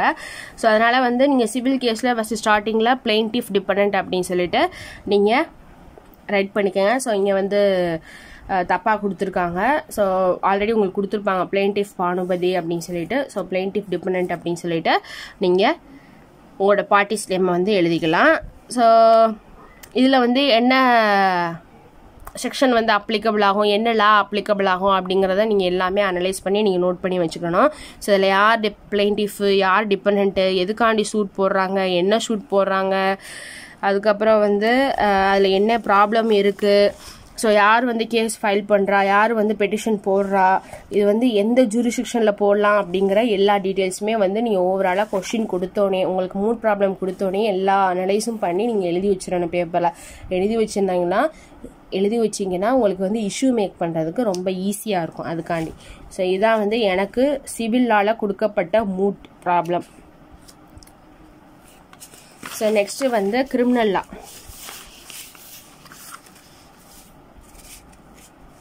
ஸோ கிரிமினல் லாக்கு கொடுத்த மூட் ப்ராப்ளம் வந்து இதாக வந்து எனக்கு கிரிமினல் லாவில் கொடுத்த moot problem so so criminal கேஸில் வந்து பார்ட்டிஸ் நேம்ஸ் எப்படி சொல்லுவாங்க அப்படின்னு பார்த்தீங்கன்னா அப்பலண்ட் ரெஸ்பாண்டன்ட் இல்லை கம்ப்ளைண்ட் ரெஸ்பாண்டன்ட் அப்படின்னு சொல்லி போடுவாங்க. இந்த கம்ப்ளைண்ட் அப்பலண்ட் அவங்கன்னா வந்து அவங்க தான் பெட்டிஷனை ஃபைல் பண்ணுறாங்க அவங்க தான் கேஸ் போடுறாங்க அப்படின்னா அவங்க தான் வந்து அப்பலண்ட் கம்ப்ளைண்ட்டாக இருப்பாங்க. ரெஸ்பாண்டன்ட் அப்படிங்கிறவங்க அவங்க எதிர் தரப்பினராக வந்து இருப்பாங்க. ஸோ எனக்கு கொடுத்த கிரிமினல் கேஸ்க்கு என்ன செக்ஷன் அப்ளிகபிள் ஆகும்? யார் வந்து அப்பலண்ட்டு யார் ரெஸ்பாண்டன்ட்டு முதல்ல வந்து மூட் ப்ராப்ளம் கொடுக்குறாங்கன்னா அதில் பார்ட்டிஸ் நேமை வந்து கரெக்டாக எடுத்து எழுதணும். நீங்கள் மாற்றி கூட கொடுத்துருப்பாங்க. நீங்கள் ரீட் பண்ணையில் எப்படி ரீட் பண்ணுறீங்க ஸோ அதில் யார் அப்பலண்ட்டு யார் ரெஸ்பாண்டன்ட் அப்படிங்கிறத வந்து தெரிஞ்சுக்கிட்டு தான் நீங்கள் வந்து எழுதவே ட்ரை பண்ணணும். யார் அப்பலண்ட் யார் ரெஸ்பாண்டன்ட் அப்படின்னு சொல்லி கரெக்டாக தெரிஞ்சதுக்கு அப்புறம் தான் நீங்கள் இஷ்யூவே மேக் பண்ணணும். ஸோ இதில் வந்து அப்பலண்ட் அப்படின்னு ஸோ இதில் வந்து கிரிமினல் கேஸில் அப்பலண்ட் ரெஸ்பாண்டன்ட் அப்படின்னு சொல்லிட்டு தான் அவங்களோட பார்ட்டிஸ் நேமை வந்து டினோட் பண்ணுவாங்க. ஸோ இதில் என்னென்னா அப்பலண்ட் யார் ரெஸ்பாண்டன்ட் யார் யார் கம்ப்ளைண்ட் கொடுத்தா ஸோ எதுக்காண்டி கம்ப்ளைண்ட் கொடுத்தாங்க யார் மேலே கம்ப்ளைண்ட் கொடுத்தாங்க என்ன செக்ஷன் அப்ளிகபிள் ஆகுது என்ன லா அப்ளிகபிள் ஆகுது என்ன விஷயம் அப்படிங்கிறத எந்த கோர்ட்டில் வந்து கேஸ் நடக்குது அப்படிங்கிற எல்லா விஷயத்தையுமே வந்து எழுதி வச்சுக்க இது வந்து ப்ராப்ளத்துலேருந்து அவங்க கொடுத்த மூட் ப்ராப்ளத்துலேருந்து அந்த மாதிரி ஸ்ப்ளிட் பண்ணி இந்த மாதிரி ஆரோ போட்டு எல்லாமே எழுதி வச்சுட்டிங்கன்னா உங்களோட இஷ்யூ வந்து மேக் பண்ணுறதுக்கு ரொம்பவே ஈஸியாக இருக்கும். ஃபஸ்ட்டு நல்லா மூட்டு ப்ராப்ளத்தை வந்து நல்லா தரோவாக நல்லா படிக்கணும். நல்லா படித்து ஒரு ஒரு விஷயத்துக்கும் என்னென்ன மீனிங்கு முதல்ல வந்து ஒரு செக்ஷனுக்கு இப்போ எஃப்ஐஆர் வந்து எந்த செக்ஷனில் இருக்குது அந்த செக்ஷனில் என்ன சொல்லியிருக்காங்க அப்படிங்கிற ஒரு ஒரு விஷயத்தையும் நம்ம டீட்டெயிலாக வந்து தெரிஞ்சுக்கிற அப்புறம் தான் நம்ம இஷ்யூ மேக் பண்ணணும். அதுக்கப்புறம் தான் மூட் ரெடி பண்ணவே ஸ்டார்ட் பண்ணணும். அது வர மூட் ப்ராப்ளத்தை வச்சு நல்லா அனலைஸ் பண்ணி அனலைஸ் பண்ணி உங்கள் ஸ்டாஃப்ட்ட கேட்கணும் அப்படிங்கிற நிறைய பேர்கிட்ட வந்து கேட்டு நீங்கள் அனலைஸ் பண்ணிங்களா மட்டும்தான் உங்களோட மூட் ப்ராப்ளம் வந்து நீங்கள் ரெடி பண்ண முடியும். ஸோ இதான் வந்து எனக்கு மூட் ப்ராப்ளம் வந்து கான்ஸ்டியூஷனில் சிவில் அண்ட் கிரிமினலில் வந்து கொடுத்த ப்ராப்ளம்ஸ் ஸோ பார்த்துருப்பீங்க. இது வந்து கான்ஸ்டியூஷன் இது வந்து சிவில் இது வந்து கிரிமினல் ஸோ இப்படி தான் எனக்கு கொடுத்தாங்க. ஒரு ஒரு காலேஜஸில் எப்படி கொடுப்பாங்க அப்படிங்கிறது வந்து எனக்கு தெரியாது. ஸோ நெக்ஸ்ட்டு வந்து uh, மூட் கோர்ட்டுக்கு என்னென்ன ஹெட்டிங்ஸ்லாம் எழுதணும் அப்படிங்கிறத வந்து சொல்லியிருந்தாங்க. ஜஸ்ட் வந்து உங்கள் கிளினிக்கல் கோர்ஸ் ஃபோர் யார் எடுக்க வராங்களோ அவங்க வந்து மூட் கோர்ட் எப்படி ரெடி பண்ணணும் என்னென்ன ஹெட்டிங்ஸ்லாம் இன்க்ளூட் பண்ணணும் அப்படிங்கிற uh, விஷயங்கள் எல்லாம் சொல்லுவாங்க. ஸோ எங்கள் ஸ்டாஃப் சொன்னதை வந்து நான் நோட் பண்ணி வச்சுருக்கேன். ஸோ இண்டெக்ஸில் வந்து uh, கேஸ்லாம் கண்டிப்பாக ரெஃபரன்ஸ் இருக்கணும். இண்டெக்ஸில் வந்து cause title statement of jurisdiction fact of the case issues summary of arguments arguments advance prayer இந்த one two three four five six seven இந்த செவன் ஸோ இந்த செவன் பாயிண்ட்ஸும் வந்து ரெடி பண்ணணும். ஸோ இது எல்லாமே இந்த பாயிண்ட்ஸ் எல்லாம் இன்க்ளூட் ஆனது தான் ஒரு மெமோரெண்டம் ஒரு மெமோ அப்படின்னு சொல்லுவாங்க. நீங்கள் மூட் கோட் வந்து அந்த டாக்குமெண்ட் ரெடி பண்ணுறீங்களா அதுக்கு பேர் வந்து மெமோரெண்டம் அப்படின்னு சொல்லுவாங்க. ஸோ அந்த மெமோரெண்டம் அந்த மெமோ வந்து நீங்கள் ரெடி பண்ணணும். ஸோ இந்த செவன் டாபிக்ஸ் எல்லாமே வந்து இன்க்ளூட் பண்ணிக்கணும். இதில் வந்து ஆர்குமெண்ட்ஸ் அட்வான்ஸ் வந்து டென் பேஜஸ் வந்து இருக்கணும் அப்படிங்கிற மாதிரி சொன்னாங்க. ஸோ அது என்னங்கிறத நான் என்னோட மூட்டு மெமோ காமிக்கையில் நான் வந்து உங்களுக்கு சொல்கிறேன் நெக்ஸ்ட்டு வந்து நீங்கள் மெமோ ரெடி பண்ணையில் உங்களோட ஸ்டாச்சு உங்களோட கேஸோட செக்ஷன் என்ன? செக்ஷன்ஸ் என்னென்ன செக்ஷன் தான் இன்க்ளூட் ஆகுது? என்னென்ன ப்ரொவிஷன்ஸ் தான் இன்க்ளூட் ஆகுது? என்னென்ன ஆக்ட்ஸ்லாம் இன்க்ளூட் ஆகுது? அப்படிங்கிற எல்லாமே நீங்கள் அனலைஸ் பண்ணணும் அப்படிங்கிறத வந்து சொல்லியிருந்தாங்க. ப்ளஸ் வந்து கேஸ்லாவும் வந்து ரெஃபர் பண்ணணும் அப்படிங்கிறத மென்ஷன் பண்ணியிருந்தாங்க. உங்களோட டெக்ஸ்ட் புக்கு டெக்ஸ்ட் புக் அப்படின்னா ஸ்டாண்டர்டான டெக்ஸ்ட் புக் இருக்கும்ல. ஸோ அந்த text book law reporter practice manual இருக்கும்ல. ஸோ அதெல்லாம் அதுக்கடுத்து வந்து ரிசர்ச் ஆர்டிகல்ஸு ஸோ இதெல்லாமே வந்து ரிசர்ச் பண்ணி சர்ச் பண்ணி தான் நீங்கள் வந்து உங்களோட மூட் கோட் வந்து ரெடி பண்ணணும் அப்படிங்கிற மாதிரி சொல்லியிருந்தாங்க. ஸோ இதில் வந்து சுப்ரீம் கோர்ட் கேசஸ்லாம் இருக்கும். ஸோ அதெல்லாமே வந்து ரெஃபர் பண்ணணும் அப்படிங்கிற மாதிரி சொல்லியிருந்தாங்க. நெக்ஸ்ட்டு வந்து கிரிமினல் கேஸில் வந்து பார்ட்டிஸ் யார் யார் வருவா அப்படின்னா அப்பலன் டூ ரெஸ்பாண்டன்ட்டு சிவில் கேஸில் வந்து பெட்டிஷனர் ரெஸ்பாண்டன்ட் வருவாங்க. அதுக்கு முன்னாடி பிளைன்டிஃப் அண்ட் டிபெண்ட்டாக இருப்பாங்க. நெக்ஸ்ட்டு வந்து கான்ஸ்டியூஷனால பெட்டிஷனர் அண்ட் ரெஸ்பாண்டன்ட் ஸோ இப்படி தான் வந்து கிரிமினல் கேஸில் பார்ட்டிஸ் நேம் வரும். சிவில் கேஸில் பார்ட்டிஸ் நேம் வரும். கான்ஸ்டியூஷனில் பார்ட்டிஸ் நேம் வரும். ஸோ நெக்ஸ்ட்டு வந்து உங்களோட இஷ்யூ வந்து எப்படி மேக் பண்ணணும் அப்படின்னா நான் சொன்னேன்ல இந்த ஏழு பாயிண்டில் ஒரு ஒன்று வந்து இஷ்யூ இஷ்யூ வந்து எப்படி மேக் பண்ணணும்னா question of fact and question of law so இது ரெண்டையும் வச்சு தான் வந்து நீங்கள் வந்து உங்களோட இஷ்யூவை வந்து நீங்கள் ரெடி பண்ணணும். ஸோ இதுக்கு சம்மந்தப்பட்டு இல்லாமல் நீங்கள் இஷ்யூ வந்து சும்மா ரெடி பண்ணியிருந்தீங்க அப்படின்னா உங்களோட மூட் ஜட்ஜ் வந்து உங்களுக்கு அக்செப்ட் பண்ண மாட்டாங்க. ஸோ அதனால் கொஷின் ஆஃப் நீங்கள் மேக் பண்ணுற இஷ்யூ வந்து ஒன்று ஃபேக்டோட கொஷினாக இருக்கா? இல்லை லாவோட சார்ந்த கொஷினாக இருக்கா? அப்படிங்கிறத வந்து நீங்கள் பார்த்து நீங்கள் ரெடி பண்ணிவிட்டு கூட உங்கள் ஸ்டாஃப்ட்ட போயிட்டு நீங்கள் இது கரெக்டாக அப்படிங்கிற மாதிரி கேட்டிங்கன்னா தான் உங்களுக்கு வந்து தெரியும். ஸோ உங்கள் காலேஜஸில் வந்து எப்படி கொடுப்பாங்க அப்படிங்கிறத வந்து நீங்கள் பார்த்துட்டு அதுக்கு தகுந்தாப்புல நீங்கள் வந்து எழுதிக்கோங்க. ஸோ ப்ராப்ளம் கொடுத்தாங்கன்னா இந்த மாதிரி தான் ரெடி பண்ணோம் அப்படிங்கிறத மட்டும் நீங்கள் ஐடியா வந்து தெரிஞ்சுக்கிட்டிங்கன்னா நீங்கள் என்ன ப்ராப்ளம் எப்படி கொடுத்தாலுமே நீங்கள் வந்து ரெடி பண்ணி நீங்கள் சப்மிட் பண்ணி உங்களோட மூட்டை வந்து நீங்கள் ப்ரெசென்ட் பண்ணிடலாம். ஸோ இப்படி தான் வந்து மூட் கோர்ட்டுக்கு உண்டான மார்க்ஸ் வந்து இப்படி தான் கண்டக்ட் பண்ணுவாங்க. அந்த டென் மார்க்ஸ்லேயும் எப்படி ஸ்ப்ளிட் பண்ணி கண்டக்ட் பண்ணுறாங்க அப்படிங்கிற டீட்டெயிலான டீட்டெயில்ஸ் வந்து நீங்கள் இப்போ தெரிஞ்சிருப்பீங்க.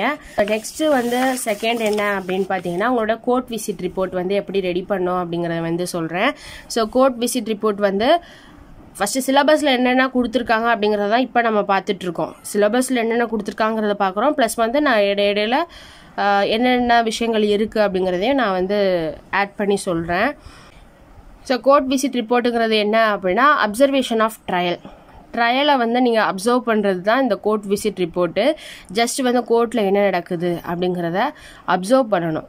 ஸோ அப்சர்வ் பண்ணிவிட்டு அதுக்குண்டான ரிப்போர்ட்டை வந்து நீங்கள் சப்மிட் பண்ணணும். ஸோ இதுக்கு வந்து கோர்ட்டில் நீங்கள் என்ன எந்த நாள் போகிறீங்க என்றைக்குனா உங்களுக்கு வந்து கோர்ட் விசிட் போட்டிருக்காங்களோ அந்த நாள்லாம் கரெக்டாக போய் நீங்கள் கோர்ட்டை விசிட் பண்ணுறீங்களா அப்படிங்கிற அட்டனன்ஸ் வந்து கண்டிப்பாக மேண்டட்ரியாக எடுப்பாங்க. அந்த அட்டனன்ஸுக்கும் மார்க் உண்டு. ஸோ அதெல்லாம் வந்து ஆட் பண்ணி தான் அதெல்லாம் மொத்தமாக சேர்த்து தான் உங்களுக்கு முப்பது மார்க் வந்து கண்டக்ட் பண்ணுறாங்க அதனால் வந்து டிஃப்ரெண்ட் டேஸில் வந்து கோர்ட் வந்து உங்களுக்கு போடுவாங்க. ஸோ டிஃப்ரெண்ட் டேஸ் இந்த கோர்ட் வந்து அட்டனன்ஸ் வந்து மேண்டட்ரி ஸோ இதில் வந்து civil case and criminal case அப்படின்னு சொல்லிட்டு ரெண்டாக ஸ்ப்ளிட் பண்ணியிருக்காங்க. அட்லீஸ்ட் வந்து ரெண்டு கேஸ் வந்து எழுதணும் அப்படிங்கிற மாதிரி சொல்லியிருக்காங்க. நீங்கள் எந்த கோர்ட்டுக்கு வந்து விசிட் போகிறீங்களோ ஸோ அதில் வந்து உங்களோட சிவில் கேஸும் நடக்கும் கிரிமினல் கேஸும் நடக்கும்.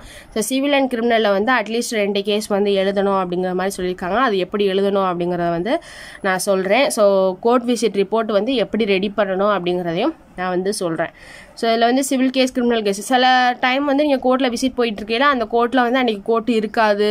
அன்றைக்கி கேஸ் நடந்திருக்காது அப்படின்னா ஜஸ்ட் ஹியரிங்கை மட்டும் எழுதினா போதும். என்னென்ன ஹியரிங் என்னென்ன என்ன காலிங் வந்து கூப்பிட்றாங்க அப்படிங்கிறத மட்டும் நீங்கள் மென்ஷன் பண்ணிங்கனாலே போதும். ஸோ அதை எப்படி நோட் பண்ணணும்? அதுக்கு என்ன அப்ளிகேஷன் இருக்குது அப்படிங்கிறதையும் நான் வந்து உங்களுக்கு சொல்கிறேன் ஸோ நெக்ஸ்ட்டு வந்து um, ஸ்டூடெண்ட் வந்து எப்படி அவங்களோட கோர்ட் விசிட் வந்து எப்படி போவாங்க அப்படின்னு பார்த்தீங்கன்னா ஃபைவ் இயர்ஸ் எல்எல்பி அப்படின்னா பிஏஎல்எல்பி படிக்கிறாங்கன்னா லாஸ்ட் த்ரீ இயர்ஸ் த்ரீ இயர்ஸில் உங்களுக்கு வந்து கோர்ட் விசிட் போயிருக்க போயிருக்கணும் அப்படின்னு சொல்கிறாங்க ஆனால் உங்கள் ஸ்டாஃப் வந்து ஃபைனல் செமஸ்டர் தான் உங்களுக்கு கோர்ட் விசிட் வந்து போடுவாங்க. அதே மாதிரி த்ரீ இயர்ஸ் எல்எல்பியில் லாஸ்ட் டூ இயர்ஸில் வந்து எல்எல்பி uh, படிக்கிறவங்க எல்லாருமே வந்து கோர்ட் விசிட் போயிருக்கணும் அப்படிங்கிற மாதிரி சொல்லியிருக்காங்க.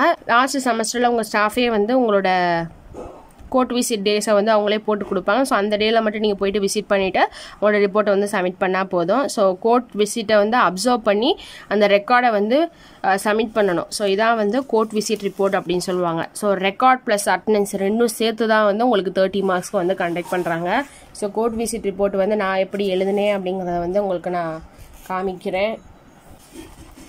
ஸோ கோர்ட் விசிட் ரிப்போர்ட் வந்து ரெடி பண்ணுறதுக்கு uh, ஒரு ஃபார்மெட் இருக்குது ஸோ அது எப்படி எழுதணும் அப்படிங்கிறத நான் வந்து சொல்கிறேன் ஃபஸ்ட் என்ன சொல்லணும் அப்படின்னா இந்த கோர்ட் விசிட் ரிப்போர்ட் ரெடி பண்ணுறதுக்கு முன்னாடி uh, ஒரு அப்ளிகேஷன் இருக்குது ஸோ லா சம்மந்தப்பட்ட ஒரு அப்ளிகேஷன் இ கோட் அப்படின்னு சொல்லிட்டு இருக்குது ஸோ ஃபஸ்ட்டு இ கோட்லாம் என்ன அப்படிங்கிறத வந்து தெரிஞ்சுக்கணும். ஸோ இ கோட்டில் என்னென்ன இருக்குது அப்படிங்கிறத வந்து நான் நெக்ஸ்ட் வீடியோவில் சொல்கிறேன் ஸோ அதை வச்சு தான் நீங்கள் வந்து கோர்ட் விசிட் ரிப்போர்ட்டே வந்து ரெடி பண்ணணும். ஸோ ஈஸியாக வந்து நீங்கள் அன்றைக்கி கோர்ட்டுக்கு விசிட் போகிறீங்க அப்படின்னா ஜஸ்ட் ஹியரிங் வந்து உங்களுக்கு தெளிவாக புரியாது. ஏன்னா ஸ்டார்டிங்கில் போகிறீங்க அப்படின்னா உங்களுக்கு ஹியரிங் வந்து தெளிவாக புரியாது. அப்போ நீங்கள் இ கோர்ட்டை ரெஃபர் பண்ணீங்க அப்படின்னா என்னென்ன ஹியரிங் என்னென்ன காலிங் பண்ணுறாங்க அப்படிங்கிறத ஈஸியாக வந்து தெரிஞ்சுக்கலாம். ஸோ ஃபார்மேட் வந்து ஜட்ஜு நேம் எழுதணும். ஸோ நீங்கள் எந்த கோர்ட்டுக்கு போகிறீங்கன்னு எழுதணும். அந்த கோர்ட்டில் காலிங்கில் ஹியரிங்கில் பார்ட்டிஸ் நேம் என்னங்களை எழுதணும். பார்ட்டிஸ் நேம் என்னங்கிறத எழுதணும். அதுக்கடுத்து கேஸ் ஸ்டேட்டஸ் வந்து என்ன? அன்னைக்கு அந்த பார்ட்டிஸ் நேம்ஸ் வந்து அன்னைக்கு வந்து ஆஜராகணும் அப்படின்னு சொல்கிறாங்கன்னா அன்னைக்கு அந்த கேஸோட ஸ்டேட்டஸ் என்ன அப்படிங்கிறத எழுதணும். நெக்ஸ்ட் வந்து அந்த கேஸோட ஸ்டேட்டஸ்க்கு வந்து next purpose and next hearing வந்து எப்போ சொல்லியிருக்காங்க அப்படிங்கிறதையும் மென்ஷன் பண்ணணும். இந்த நாலு பாயிண்ட் வந்து கண்டிப்பாக கோர்ட் விசிட் ரிப்போர்ட்டில் வந்து இருக்கணும். நீங்கள் எந்த கோர்ட்டுக்கு கோர்ட் விசிட்டுக்கு போகிறீங்களோ அந்த கோர்ட்டோட நேமு அந்த கோர்ட்டோட SC number judge name parties name case status என்ன நெக்ஸ்ட் ஹியரிங் அது நெக்ஸ்ட் பர்பஸ் என்ன சொல்லியிருக்காங்க அப்படிங்கிறத நீங்கள் இதெல்லாம் நோட் பண்ணணும். கோர்ட் விசிட் போகிறது ஜ ஜஸ்ட் நீங்கள் வந்து சுற்றி பார்க்க கிடையாது. இங்கே என்னென்ன விஷயங்கள்லாம் நடக்குதுங்கிறத அனலைஸ் பண்ணி அதுக்குண்டான ரிப்போர்ட்டை வந்து நீங்கள் ரெடி பண்ணணும். ஸோ இப்படி தான் வந்து இந்த ஃபார்மேட்டில் தான் வந்து உங்களோட கோர்ட் விசிட் ரிப்போர்ட்டை வந்து ரெடி பண்ணணும். ஸோ ஜஸ்ட் வந்து நான் என்னோடய ஃபோனில் நான் எப்படி எழுதியிருக்கேங்கிற டீட்டெயில்ஸ் எல்லாமே நான் வந்து டிஸ்பிளேல காமிக்கிறேன். ஸோ கீழே வந்து எனக்கு என்னோடய கிளினிக்கல் கோர்ஸ் ஃபோர் அப்போ என்னோடய ஸ்டாஃப் வந்து சில விஷயங்கள் சொன்னாங்க ஸோ அதை தான் நான் நோட் பண்ணி வச்சுருக்கேன் சிசினா என்ன எஸ்சினா என்ன இதெல்லாம் கண்டிப்பாக வந்து லாஸ்ட் ஸ்டூடெண்ட்டாக இருக்கீங்க நீங்கள் ப்ராக்டிஸ் பண்ண போகிறீங்கன்னா இதெல்லாம் விஷயங்கள் தெரிஞ்சிருக்கணும் சிசி கேலண்டர் கேஸ்னா என்ன செஷன் கோட்னா என்ன மோட்டார் ஆக்சிடென்ட் கிளைம் ஒரிஜினல் பெடிஷனா என்ன ஹிந்து மேரேஜ் ஒரிஜினல் பெடிஷனா என்ன இன்டர்குவாலிட்டி அப்ளிகேஷனா என்ன ஒரிஜினல் சுட்னா என்ன எக்ஸிகூஷன் பெடிஷனா என்ன எக்ஸிகூஷன் அப்ளிகேஷனா என்ன ஒரிஜினல் பெடிஷனா என்ன கிரிமினல் மிசானியஸ் பெடிஷன்னா என்ன ஸோ அப்படிங்கிறத ஷார்ட் ஃபார்மாக இருக்கும் ஷார்ட் ஃபார்முக்கு ஃபுல் ஃபார்ம் என்ன அப்படிங்கிறத தெரிஞ்சுக்கணும். இந்த மாதிரி ஷார்ட்டாக கொடுத்தாங்கன்னா அதுக்கு ஃபுல் ஃபார்ம் என்ன தெரிஞ்சுக்கணும். ப்ளஸ் வந்து அது எதுக்கு அந்த ஷூட் வந்து எதுக்காண்டி போடுறாங்க என்ன பர்பஸ் அப்படிங்கிறதையும் நீங்கள் தெரிஞ்சுக்கணும். ஸோ அதெல்லாம் ஒன் பை ஒன்னாக நம்ம டீட்டெயிலாக அடுத்தடுத்து பார்க்கலாம். ஸோ இது வந்து என்னோட கிளினிக்கல் கோர்ஸ் அப்போ அவங்க சொல்லிக் கொடுத்தது. ஸோ நார்மலாக வந்து நீங்கள் உங்களோட கோர்ட் விசிட் ரிப்போர்ட்டுக்கு எழுத வே எழுதக்கூடிய ஹெட்டிங்ஸ் வந்து இதுதான். ஜட்ஜோட நே நீங்கள் எந்த கோர்ட்டுக்கு போகிறீங்க ஜட்ஜோட நேம் என்ன பார்ட்டிஸோட நேம் என்ன கேஸ் ஸ்டடி என்ன நெக்ஸ்ட் பர்பஸ் நெக்ஸ்ட் ஹியரிங் என்ன அப்படிங்கிறத மட்டும் ஒரு பாக்ஸ் போட்டு ஒரு டென் ஒரு டென் கேஸ் இப்போ ஒரு கோர்ட்டுக்கு விசிட் பண்ணுறீங்க அப்படின்னா அன்னைக்கு ஒரு பத்து கேஸாவது நீங்கள் வந்து எழுதி வச்சுக்கணும். ஸோ அந்த பத்து கேஸ் வந்து உங்களுக்கு எழுத முடியல நீங்கள் நோட் பண்ணல அப்படின்னா அது எப்படி எழுதணுங்கிறத நான் நெக்ஸ்ட் வீடியோவில் வந்து சொல்கிறேன் ஸோ அதுக்கு ஒரு அப்ளிகேஷன் இருக்குது ஸோ அதை நீங்கள் ரெஃபர் பண்ணி நீங்கள் எழுதிக்கலாம். ஸோ அப்படி நெக்ஸ்ட்டு வந்து நான் நான் எழுதினது வந்து இப்படி தான் ஸோ நான் வந்து ஏதோ த எழுதிட்டு இருக்கும்போது ஏதோ தப்பு பண்ணனால அதை வந்து நான் வச்சுருந்தேன். ஸோ அதை வந்து உங்கள்கிட்ட காமிக்கிறேன். ஸோ கேஸ் ஸ்டேட்டஸோட நம்பர் நம்பர் வந்து எப்படி அப்படின்னா ஓஎஸ்ஆ எஸ்சிஆ அப்படி. ஸோ அதுதான் கேஸ் ஸ்டேட்டஸ் நம்பரை வந்து நீங்கள் ஃபஸ்ட்டு எழுதணும். நெக்ஸ்ட் பார்ட்டிஸோட நேம் என்ன அப்படிங்கிறது எழுதணும். முனியாண்டி அண்ட் நயன் அதர்ஸ் அப்படின்னா முனியாண்டியோட நைன் மெம்பர்ஸ் வந்து இருக்காங்க அப்படி. ஸோ அவங்களோட எதிர்பார்ட்டி யார் அப்படின்னு பார்த்தீங்கன்னா மாரி அண்டு செவன்டீன் அதர்ஸ் அப்படின்னு சொல்லிட்டு. So parties name case status அப்படின்னு போட்டுட்டு நெக்ஸ்ட் ஹியரிங் டேட் வந்து என்னைக்கு சொல்லியிருக்காங்க அப்படிங்கிறதையும் மென்ஷன் பண்ணணும். அவரோட கேஸோட ஸ்டேஜ் என்ன அப்படிங்கிறதையும் மென்ஷன் பண்ணணும். ப்ளஸ் வந்து என்ன ஆக்ட் இன்க்ளூட் ஆயிருக்கு அப்படிங்கிறதையும் நீங்கள் மென்ஷன் பண்ணிக்கலாம். ஸோ இல்லை அப்படின்னா அன்னைக்கு நீங்கள் ஒரு கோர்ட்டுக்கு போகிறீங்க அன்னைக்கு வந்து அந்த கேஸோட ஜட்ஜ்மெண்ட் வந்து கொடுக்குறாங்க அப்படின்னா என்ன ஜட்ஜ்மெண்ட் கொடுத்தாங்க? என்ன கேஸ் வந்து எப்படி நடந்துச்சு? ஸோ எப்படிலாம் வந்து பார்ட்டிஸ் அவங்களோட விட்னஸை ப்ரொடியூஸ் பண்ணாங்க அப்படிங்கிறத நீங்கள் ஒரு பேரா மாதிரியும் நீங்கள் எழுதி சப்மிட் பண்ணலாம். ஜஸ்ட் இந்த மாதிரி சிம்பிளாகவும் எழுதி சப்மிட் பண்ணலாம். கோர்ட் விசிட் ரிப்போர்ட்டில் இந்த மாதிரி தான் வந்து நீங்கள் எழுதி சப்மிட் பண்ணணும். ஸோ அது மாதிரி தான் கொடு எழுதியிருக்கேன்னா கேஸ் நம்பர் என்ன பார்ட்டிஸ் நேம் என்ன கேஸ் ஸ்டேட்டஸ் என்ன? அவனோட next hearing date case status so இப்படி தான் வந்து கோர்ட் விசிட் ரிப்போர்ட் வந்து ரெடி பண்ணணும். நான் என் நான் எழுதுனதை வந்து நான் டிஸ்பிளேல ஷோ பண்ணி காமிக்கிறேன் நீங்கள் பார்த்துக்கோங்க so court visit report ready பண்ணீங்க அப்படின்னா அதுக்கு நான் அட்டண்டன்ஸ் ப்ளஸ் வந்து ரெக்கார்டு இதெல்லாம் சேர்த்து தான் உங்களுக்கு வந்து தேர்ட்டி மார்க்ஸ்க்கு வந்து கண்டக்ட் பண்ணுறாங்க தேர்ட்டி மார்க்ஸ் கண்டக்ட் பண்ணுறாங்க ஸோ நெக்ஸ்ட்டு வந்து உங்களோட internship diary chamber visit report வந்து எப்படி ரெடி ரெடி பண்ணணும் எப்படி ரெடி பண்ணணும் அப்படிங்கிறத வந்து பார்ப்போம். ஸோ இது வந்து interview techniques and pre trial preparation and internship diary அப்படிங்கிறான். ஸோ ஒரு ட்ரையல் வந்து போகிறதுக்கு முன்னாடி நீங்கள் வந்து என்னென்னா ப்ரிப்பேர்டாக இருக்கீங்க அப்படிங்கிறத நீங்கள் ஒரு இன்டர்ன்ஷிப் மூலயமா போய் அதுக்குண்டான ரிப்போர்ட்டை வந்து சப்மிட் பண்ணுறது தான் இந்த internship diary or chambering visit report அப்படின்னு சொல்லி சொல்லுவாங்க. சாம்பர் அப்படிங்கிறது என்ன அப்படின்னா அட்வொகேட் இருக்கக்கூடிய ஆஃபீஸை தான் வந்து சாம்பர் அப்படின்னு சொல்லுவாங்க. நீங்கள் ஒரு ஒரு டிஸ்ட்ரிக் கோர்ட்லேயும் பார்த்தீங்க அப்படின்னா அட்வொகேட் சாம்பர் அப்படின்னு சொல்லியே இருக்கும். அவங்களோட அட்வொகேட் ஆஃபீஸ் அப்படின்னு சொல்லிட்டு ஒரு ஒரு அட்வொகேட்டுக்கும் வந்து ஒரு ஒரு ஆஃபீஸ் ஒரு சீனியரான அட்வொகேட்ஸ் இருக்காங்க அப்படின்னா அவங்களுக்குன்னு கோர்ட்டில் வந்து சாம்பர் வந்து கொடுத்துருப்பாங்க. ஸோ அந்த சாம்பர் அந்த சாம்பர் போய் ஸோ அவங்களோட அட்வொகேட் சாம்பருக்கு போயிட்டு நீங்கள் வந்து ஸோ அங்கே வந்து என்னென்ன விஷயங்கள்லாம் நடக்குது? ஸோ கிளைண்ட்டும் அட்வொகேட்டும் எப்படி பேசிக்கிறாங்க அப்படிங்கிற ஒரு அப்சர்வேஷனாக வந்து நீங்கள் பண்ணுறது தான் இந்த சாம்பர் விசிட் ரிப்போர்ட் அவங்களோட சீனியர் அட்வொகேட் வந்து எப்படி கேஸை ஹேண்டில் பண்ணுறாங்க அப்படிங்கிற ஒரு ஒரு விஷயமும் நீங்கள் தெரிஞ்சுக்கணும். ஸோ இந்த சாம்பர் விசிட்டு அப்படின்னு பார்த்தீங்கன்னா அவங்களோட உங்களோட அட்வொகேட் வந்து மேக்ஸிமம் வந்து ten years above ten years எக்ஸ்பீரியன்ஸான அட்வொகேட்டை தான் நீங்கள் வந்து சாம்பர் விசிட் வந்து போகணும் அப்படிங்கிறத வந்து சொல்லியிருப்பாங்க. ஸோ அவங்க வந்து lawyer office or legal aid office அப்படின்னு சொல்லிட்டு நீங்கள் உங்களோட அந்த சாம்பர் உங்கள் அட்வொகேட் சாம்பர்கிட்ட வந்து நீங்கள் விசிட் போகலாம்.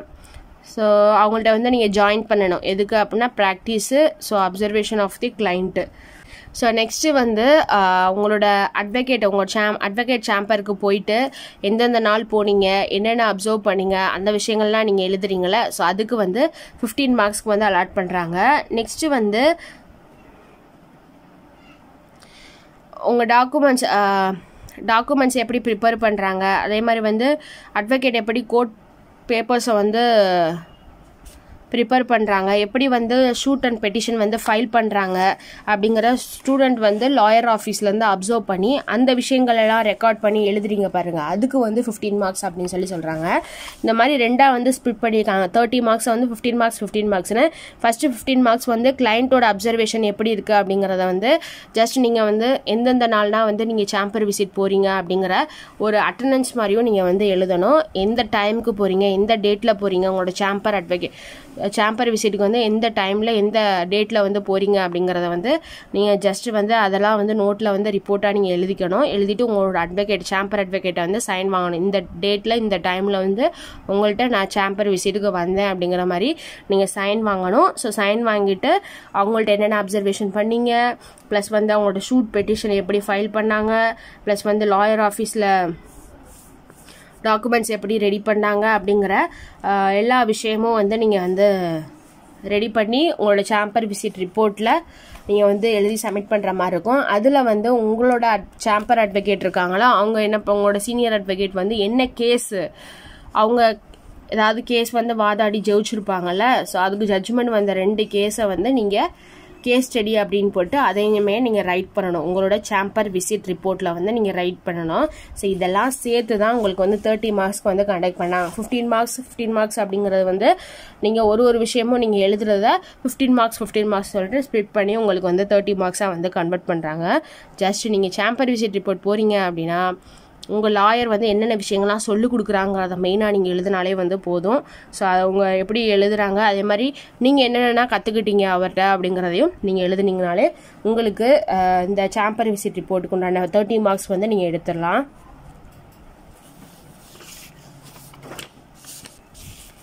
ஸோ லாஸ்ட்டாக இருக்கிறது வந்து என்ன அப்படின்னு பார்த்தீங்கன்னா உங்களோட viva voce examination so viva voce எக்ஸாமினேஷனில் நான் சொன்ன மேலே சொன்ன மூணு இருக்குல்ல moot court court visit report chamber visit report இது மூணுக்கும் சேர்த்து உங்களுக்கு வந்து வைவா வாய்ஸ் கண்டக்ட் பண்ணுவாங்க. ஸோ ஒரு ஒரு ரிப்போர்ட்லேயும் வந்து என்னென்ன இருக்குது அப்படிங்கிறத நீங்கள் தான் எழுதுனீங்களா இல்லை காப்பி பண்ணீங்களா தெரிஞ்சு எழுதுனீங்களா தெரியாமல் எழுதுனீங்களாங்கிறத உங்களை வந்து ரொம்ப கொஷின்ஸ் கேட்டு வைவா வாய்ஸ் கண்டக்ட் பண்ணி தான் உங்களுக்கு வந்து அந்த டென் மார்க்ஸே வந்து போடுவாங்க. ஸோ டென் மார்க்ஸ்க்கு மேக்ஸிமம் ஃபைவ் மார்க்ஸ் போடுறதே ரொம்ப கஷ்டம். ஸோ அதனால் வந்து ஒரு ஒரு விஷயத்தையும் நீங்களாக தெரு இந்த ஃபைனல் இயர் ப்ராஜெக்டில் வந்து நீங்களாக எல்லாமே ஓரளவு நீங்களாகவே கற்றுக்கிட்டு நீங்கள் எல்லாமே ரெடி பண்ணீங்க அப்படின்னா கண்டிப்பாக ப்ராக்டிஸ் போகிறையில் உங்களுக்கு ரொம்பவே ஈஸியாக இருக்கும். நீங்கள் எதையுமே அடுத்தவங்கள்ட்ட கேட்குற அந்த மைண்டே வராது. தானாகவே எல்லாமே நீங்கள் தெரிஞ்சுக்கிற மாதிரி தான் உங்களுக்கு வந்து மைண்ட் செட் ஆகிக்கும் ஸோ அதனால் தெரியாத விஷயங்களை மட்டும் நீங்கள் வந்து உங்களோட ப்ராக்டிஸ் அப்போ நீங்கள் வந்து தெரிஞ்சுக்கலாம். ப்ராக்டிஸில் யாரும் உங்களுக்கு சொல்லிக் கொடுப்பாங்க அப்படிங்கிறத நீங்கள் நினச்சி கூட பார்க்காதீங்க. யாருமே எதுவுமே சொல்லிக் கொடுக்க மாட்டாங்க. நம்மளே சர்ச் பண்ணி எல்லாமே தெரிஞ்சுக்கிட்டு நம்மளே வந்து எல்லாமே கோர்ட்டில் ப்ரொடியூஸ் பண்ணிக்கணும். ஸோ அப்படி தான் இருக்கும். ஸோ அதனால் வைபாவஸ் எக்ஸாமினேஷனில் உங்களுக்கு மேலே உள்ள மூணு விஷயத்துங்களை எல்லாத்தையும் சேர்த்து உங்களுக்கு வந்து டென் மார்க்ஸ் வந்து கண்டக்ட் பண்ணுறாங்க இந்த நாலுக்கும் சேர்த்து தான் உங்களுக்கு வந்து ஹோலா moot court moot court exercise and இன்டர்ன்ஷிப்புக்கு வந்து ஹண்ட்ரட் மார்க்ஸ் வந்து அலாட் பண்ணுறாங்க ஸோ இதான் வந்து கிளினிக்கல் கோர்ஸ் ஃபோரில் வந்து உங்கள் சிலபஸில் கொடுக்கப்பட்ட விஷயங்கள் வந்து இவ்வளோ தான் அதில் இடையில வந்து என்னென்ன ரெடி பண்ணும் அப்படிங்கிறத ஷார்ட்டாக வந்து நான் சொல்லியிருக்கேன். இன் டீட்டெயிலாக வந்து நான் நெக்ஸ்ட் வீடியோவில் வந்து சொல்கிறேன் ஸோ அதை வந்து ஒன் பை ஒன்னாக வந்து பார்க்கலாம். ஸோ பார்த்துக்கோங்க. இது வந்து ஃபைவ் இயர்ஸ் எல்பிக்கும் த்ரீ இயர்ஸ் எல்பிக்கும் ஒரே பேட்டர்ன் தான் ஒரே விஷயந்தான் இது வந்து எந்த ஒரு சேஞ்சஸுமே கிடையாது. ஸோ அதனால் ரெண்டு பேருக்கு டிஃப்ரெண்ட்டாக இருக்கும் அப்படின்னா நினச்சிக்காதீங்க. ரெண்டு பேருக்குமே இதே பேட்டர்ன் தான் இதே சிலபஸ் தான் இதே மாதிரி தான் ரெடி பண்ணணும் ரெண்டு பேருக்குமே. ஸோ அதை வந்து பார்த்துக்கோங்க. ஸோ இப்படி தான் வந்து சிலபஸ் இருக்கும். ஸோ அந்த சிலபஸ் தெரியணும் அப்படின்னு நினச்சிங்கன்னா உங்கள்கிட்ட சிலபஸ் இருந்துச்சுன்னா அதை ஓப்பன் பண்ணி பார்த்தீங்கன்னா இதே விஷயங்கள் தான் அவங்க போட்டிருப்பாங்க. ஸோ நீங்கள் பார்த்துக்கலாம். ஸோ எனக்கு எப்படி நடந்துச்சு அப்படிங்கிறத தான் நான் உங்கள் கூட ஷேர் பண்ணியிருக்கேன். ஜஸ்ட் நீங்கள் இதை வந்து என்னங்கிறத மட்டும் தெரிஞ்சுக்கிட்டு உங்கள் காலேஜஸில் எப்படிலாம் பண்ண சொல்கிறாங்க இதை தாண்டி நிறையா பண்ண சொன்னாங்கன்னா பண்ணிக்கோங்க. இல்லை இதுவே சிம்பிளாக பண்ண சொன்னாங்க அப்படின்னா என்னென்ன விஷயங்கள் மட்டும் நீங்கள் தெரிஞ்சுக்கிட்டீங்கன்னா அதுக்கு தகுந்தாப்புல உங்களோட ஃபைனல் செமஸ்டர் ப்ராஜெக்டை வந்து நீங்கள் ஈஸியாக வந்து கிளியர் பண்ணிடலாம். ஸோ அவ்வளோதான் மூட் கோட்டில் சிலபஸில் கொடுக்கப்பட்ட விஷயங்கள் வந்து இவ்வளோ தான் ஸோ இதை மட்டும் நீங்கள் தெரிஞ்சுக்கிட்டாலே வந்து போதும். So moot court exercise and இன்டர்ன்ஷிப்பில் எப்படிலாம் வந்து மார்க்ஸ் ஸ்ப்ளிட் பண்ணியிருக்காங்க. ஸோ அதுக்கு தகுந்தாப்புல தான் நம்ம வந்து மூட் கோட் வந்து ரெடி பண்ணி சப்மிட் பண்ணணும். ஸோ இந்த ஃபைனல் செமஸ்டர் ப்ராஜெக்டை நீங்கள் கிளியர் பண்ணிட்டீங்கனாலே உங்களோட ப்ராக்டிஸ்க்கு வந்து ரொம்பவே ஈஸியாக இருக்கும். ஸோ இதை மட்டும் நீங்கள் வந்து கரெக்டாக எதையுமே வந்து சும்மா நார்மலாக பார்த்தேன் படித்தேன் அப்படிங்கிற மாதிரி இல்லாமல் இன்டெப்த்தாக ஒரு ஒரு விஷயத்தையும் நீங்கள் தெரிஞ்சு எல்லாமே நீங்கள் ரெடி பண்ணீங்க அப்படின்னா உங்களுக்கு வந்து ரொம்பவே ஈஸியாக இருக்கும்.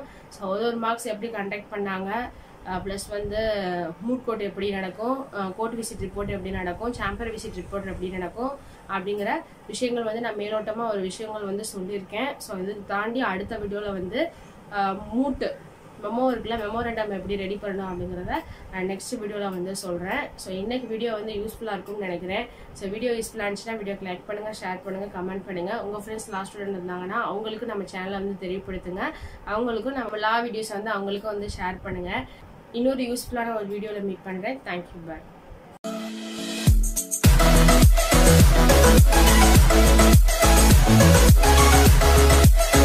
Thank.